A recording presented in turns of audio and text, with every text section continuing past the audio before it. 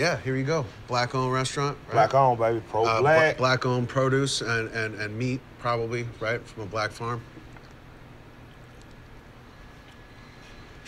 What's up? Excuse me, sir. Yes, sir. My white friend just reminded me I'm living so black that I'm technically only supposed to eat meat from a black farm or produce. Please tell me like this came from the West Georgia, like Black Farmers Collaborative or No, it didn't. May I get a to-go box, please? You're a good man, Michael Render, and I gotta be honest with you. This shit is amazing.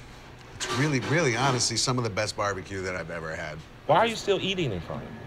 It's just at the hotel room that I was in last night. Some of the room service, you know, the, the lobster, um, You ate lobster? I had a lobster roll. I was on a park bench.